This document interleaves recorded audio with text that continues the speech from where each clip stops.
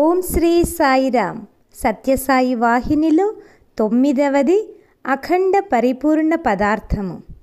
జగత్తునకు ఉపాదాన కారణమును నిమిత్త కారణమును కూడా భగవంతుడేననియు భగవంతుడు పరిపూర్ణము అనియు ఆత్మయు పరిపూర్ణము ప్రకృతి కూడా పరిపూర్ణము అనడి వాదమున అనేక పరిపూర్ణ వస్తువులు ఏర్పడినవి. అతడు అనగా భగవంతుడు తనలో నుండియే ఈ జగత్తును ఆవిర్భవింప చేయుచున్నాడు. అయితే భగవంతుడు ఈ గోడలుగా ఈ బల్లలుగా ఎట్లయ్యను అనే సందేహము సహజము. ఇది ఒక వాదము. భగవంతుడు పరిశుద్ధుడు కదా ఈ దుష్ట వస్తువులుగా ఎట్లయ్యను అని మరొక వాదము. దీనికి సమాధానము విచారింతుము. మానవుడు ఆత్మస్వరూపుడే అయ్యో అతడొక శరీరమును ధరించి ఉన్నాడు కదా. ఒక దృక్పథమున తాను ఈ శరీరము కన్నా భిన్నము కాదు కదా. అయినను నేను యథార్థ స్వరూపుడను. నేను ఈ శరీరమును కాదు. కాను నేను పసివాడను వయోవృద్ధుడను లేక స్త్రీ పురుషుడను కాదు. ఈ శరీర అవస్థలు ఎన్ని మార్పులు చెందుచున్నప్పటికీ ఆత్మ మారుటలేదు.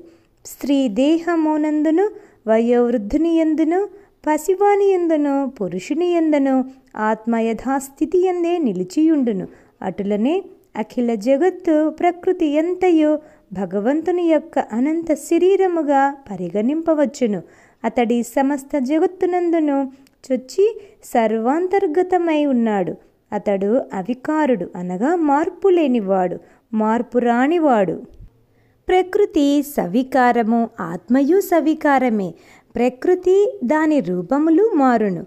అది వేరువేరు రూపములు దాల్చుచుండును. కానీ ఆత్మ అట్టి మార్పుల నొందదు నొందజాలదు. దుష్కర్మలు దానిని సంకుచితమొనర్చును. దుష్కర్మలనగా ఆత్మకు స్వతసిద్ధమగు సత్య జ్ఞానమును పరిశుద్ధతను సంకుచితమునర్చునవి. ఆత్మ యొక్క నైసర్గిక తేజో వైభవమును గోచర రూపమునకు తెచ్చు కర్మలు సత్కర్మలు అనబడును. ఆత్మ మొదట పరిశుద్ధమై ఉండునది కానీ ఆ పిదపాది సంకుచితమయ్యను. సత్కర్మాచరణ మూలమున అది మరలా వ్యాకోచత నుండి దాని నైసర్గిక పారిశుద్ధములను సాధించును. ఈ అవకాశము సర్వజనులకు గలదు. కాల పరిపాకమున సర్వులకు విమోచనము లభించును కానీ ఈ జగత్తు మాత్రము అంతముందదు. ఇది శాశ్వతము. ఇది రెండవ సిద్ధాంతము. మొదటి సిద్ధాంతము పేరు ద్వైతము. ఈ రెండవ సిద్ధాంతం ప్రకారము భగవంతుడు ఆత్మ ప్రకృతి అను మూడు వస్తువులు కలవు. అంతా ప్రకృతి భగవంతుని శరీరము కనుక ఆత్మయే జీవుడగుటచే ఈ మూడును చేరి ఒక వస్తువే ఆధ్యాత్మిక విచారణ పరిణామమున ఇది ఉన్నత తరమగు దశ.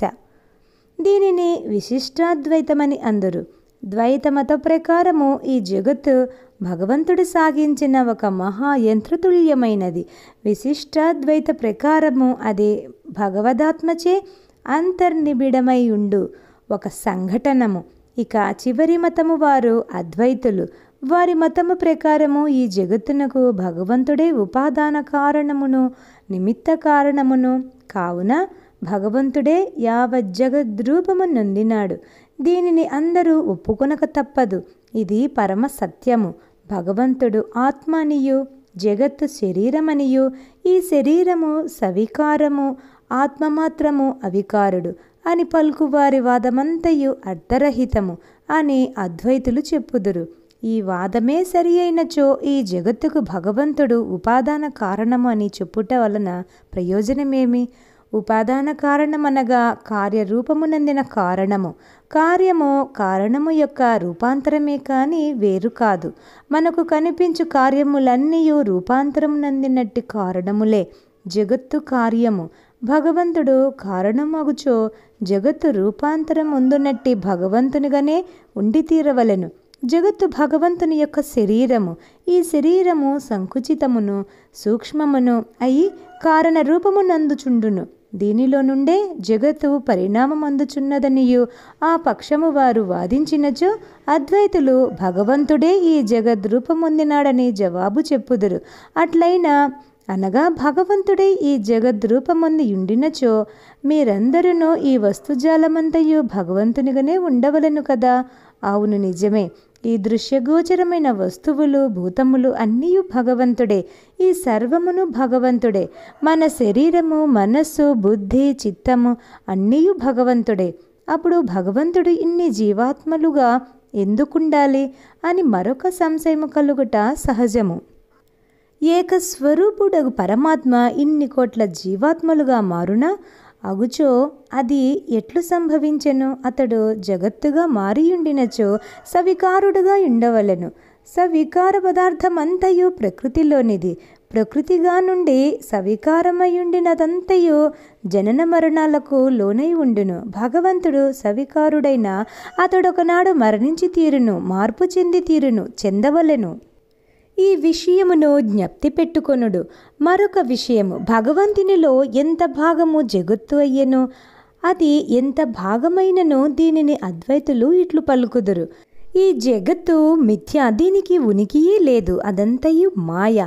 ఈ జగత్తు జన్మించుట మరణించుట ఈ అసంఖ్యాక జీవాత్మలు ఉత్పన్నమగుట అంతరించుట ఇవన్నీ స్వప్న సంఘటనలు. జీవాత్మ అనునదే లేదు. ఇక అనేక జీవాత్మలెట్లుండగలవు కలది ఒకటే అఖండ పరిపూర్ణ పదార్థము. ఒకే సూర్యుడు అనేక జలాశయములలో ప్రతిఫలించి అనేకుడుగా కనిపించినను కోటాను కోట్ల జల బిందువులందు కోటాను కోట్ల సూర్యబింబములు ప్రతిఫలించినను అందన్నీయు పరిపూర్ణ సూర్యబింబములే అయ్యను. కలదొకే బింబమైనట్లు జీవాత్మలన్నీయు వేర్వేరు మానసములందు దీపించు ప్రతిఫల రూపములు. ఈ విభిన్న మానసములన్నీయు విభిన్న జల బిందువుల వలె ఆ యొక్క వస్తువునే ప్రతిబింబించుచుండును. ఈ విభిన్న జీవ రూపములలో ఆ ఒక్క భగవంతుడే ప్రతిఫలించుచున్నాడని భారతీయ పరమార్థమైన అద్వైతము సుస్పష్టముగా చెప్పుచున్నది. దీనికి మార్పు లేదు రాదు. దానిని అర్థం చేసుకునలేని జీవులు మాయకు లొంగిన వారలనే చెప్పవచ్చును. స్వప్నము కూడా ఒక సత్య వస్తువు మీదనే ఆధారపడి ఉండవలను. ఆధార వస్తువు లేక ఆధేయము నిలువజాలదు. మూలాధార పదార్థము నుండియే అన్నీయు ఆవిర్భవించుచున్నవి. ఆ మూలాధారము ఈశ్వరుడు. అతడే భగవంతుడు అతడే పూర్ణుడు. అదే మనస్సుగా జీవునిగా దేహముగా ఆత్మగా రూపొందుచున్నది. నీవు స్వప్నమాత్రుడవే. యథార్థ దృష్టికి లోకమంతయు సచ్చిదానంద స్వరూపమే. స్వప్న దృశ్యములు ఎక్కడి నుండియో పుట్టి ఎక్కడనో విలీనమగుటలేదు. అన్నీయు మనస్సు నుండే పుట్టి మనస్సులోనే విలీనమగుచున్నవి కదా. ఇవి ఎట్లు పుట్టుచున్నవో యోచించుచున్నామా? ఆ స్వప్నావస్థలో అది నిజమే అని తలంచి రోదన ఆహ్లాదము భయము విచారము సంతోషమును పొందుచున్నాము. తర్వాత అవన్నీ స్వప్నమని వీనిని చింతించకున్నాము. అటులనే జగత్తు స్వప్నతుల్యము. అంతా ఈశ్వరుని నుండియే పుట్టి తిరిగి ఈశ్వరుని ఎందే లయముందుచున్నవి. ఈ జన్మలు పునర్జన్మలు ఈ రాకపోకలు అన్నీయు మాయాకల్పితములు భ్రమలు అసత్యములు. నీవు పరిపూర్ణడవు. నీవే ఈశ్వరుడు ఈశ్వరుడే నీవు. ఈ జ్ఞానానుభూతి నొందిన వారికి ఈ జగత్తులో ఐక్యసిద్ధి కలుగును.